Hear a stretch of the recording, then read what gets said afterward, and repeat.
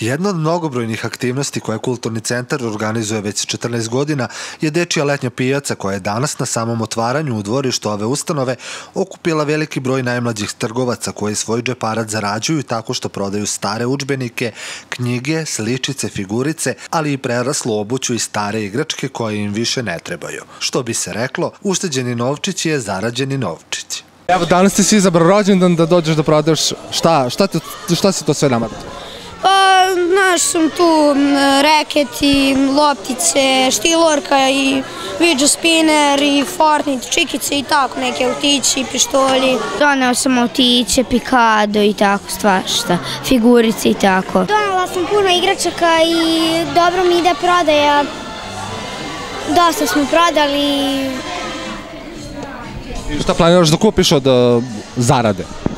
Pa planiram da kupim neke haljine za mene. Može ovde da se skupi neki lep i dobar džeparac?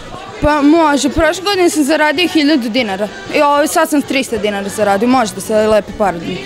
Kulturni centar u Kikindi dečiju letnju pijacu organizuje u kontinuitetu već punih 14 godina. Deca znaju i eto, juče su se raspustili, danas krećemo. Čitavo leto u dvorištu kulturnog centra u periodu od 9 do pola 12 e, će biti dečija pijaca svake subote. Mi kad smo krenuli, e, to je bilo, kažem, pre 14 godina, e, tad je jedino postojala dečija pijaca u Somboru i tada smo mi videli da to postoji pa smo ajde pokrenuli. E, Cilj e, svega ovoga je evo da se deca druže, da se upoznaju sa parama, da prodaju i da, e, jako mi je drago kada neko kaže da je skupio pare sa dečje pijace i da je otišao na letovanje, da imao džeparac ili jedne godine smo imali da je dete kupilo bazen, veliki bazen.